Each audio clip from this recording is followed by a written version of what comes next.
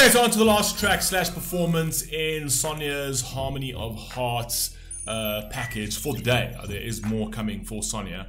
Um, she has booked a few, so that's coming uh, up in the next uh, two weeks. Uh, but we're actually on to other people's ones uh, tomorrow. Like I said in my videos before, before this one, um, we will be wrapped up with all of the HOHs. All of your HOHs will be wrapped up by the 29th. I know we actually wanted to schedule them into the calendar, but we're having an issue with the calendar thing. But don't stress, like we said, HOHs were for February and I'm doing them in order, right? So whoever booked first and whoever booked second, whoever booked third, we're going in that order right up until uh, the very last one. So we've already dropped a whole bunch of them. We did open up for a few more and we will drop those as well. Uh, but don't worry, all of yours will be booked until, just bear with us until we get that calendar sorted out. We will will get it sorted out by the next campaign. Um, but uh, what's actually happening with the calendar is when we put those uh, um, entries in, um, after we get past a certain point, there, there, seems to be some sort of glitching that it's just it's throwing things around. I don't understand why we are putting a new module in there, right? Just unfortunately in the back end with stuff like this, it takes time because we are also developing other stuff in the back end. So um, it's, it's, it's about uh, um, sort of working around a couple of uh, fires over here. But anyway, um, we are now on to, well, we're ending off the day on the HOH with Led Zeppelin. Now, we haven't done much of Led Zeppelin at all, if any, actually. Um, I don't know anything about them. I do know that they are a very iconic band. Um, the song is called What Is and What Should Never Be, live at the Royal Albert Hall in 1970. And the message over here from Sonia is Led Zeppelin were an English rock band formed in London in 1968. So obviously this song was quite recently performed uh, after their um, sort of initiation, essentially, um, since they've started. So Anyway, you guys uh, can give me more info about Led Zeppelin down in the comment section. Um, I've never heard this song. I haven't heard much of Led Zeppelin at all. Actually, I probably haven't heard anything by Led Zeppelin. It's never been on my playlist. Um, and yeah, we've never gone down any of their discography. So, is what it is. Um, for those of you who want to book more HOHs, I am completely booked up. Uh, my capacity and Alex's capacity has now reached its limit, so we're not doing any more of those. And uh, there is still Magnify, Magnify and Wolf right? Um, you can go and book uh, for them. They absolutely love the support and they're fantastic. You'll really enjoy their reactions. They don't just sit and say, oh, this is fire. No, they actually really do dig into the uh, lyrics. Like I told you, I handpicked all the guys for the Fable Sphere and I'm very proud of the guys that are that have joined us here. I think we've got an absolutely sensational team and we're building something great over here.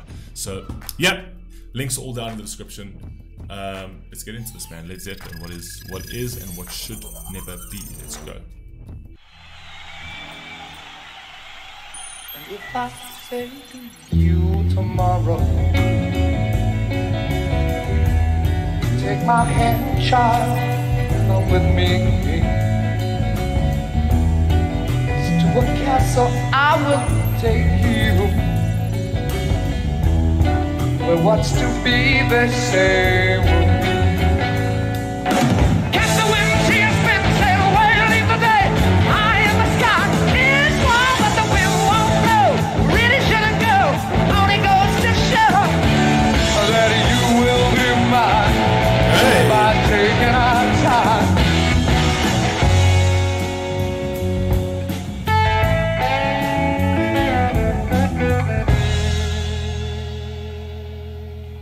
If you say to me tomorrow,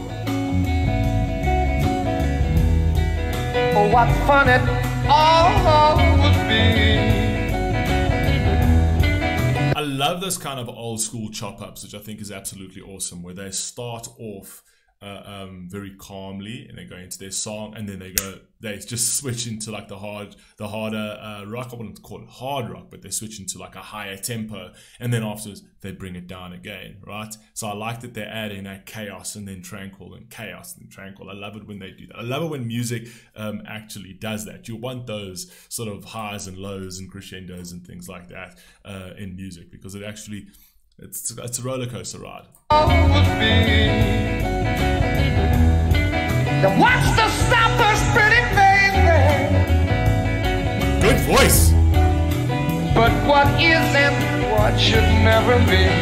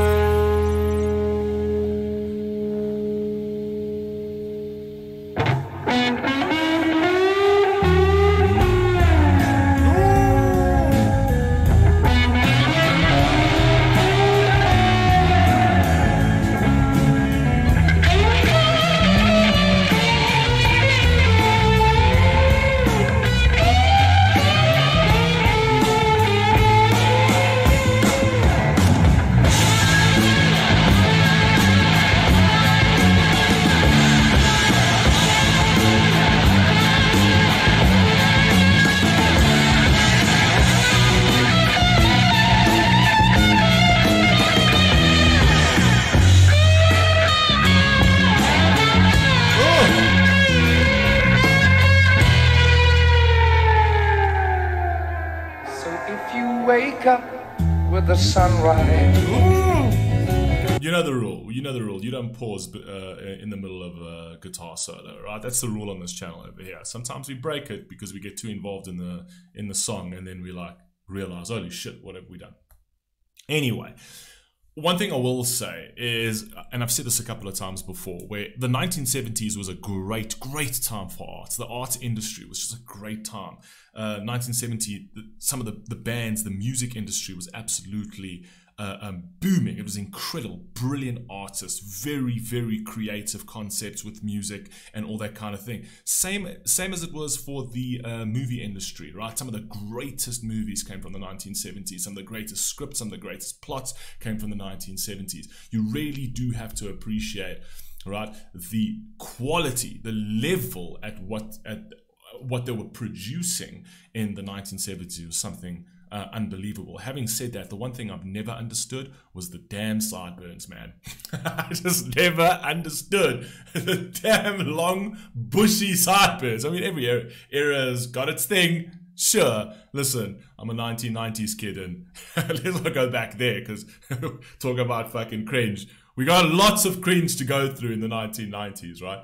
But uh, really, the 1970s, if you go back and actually go into that era of art, that decade, you know, between the 1970s and 1980s was a decade of absolute pure perfection when it came to music and um, um, movies alike. Anyway, carry on. And all your dreams are still as new.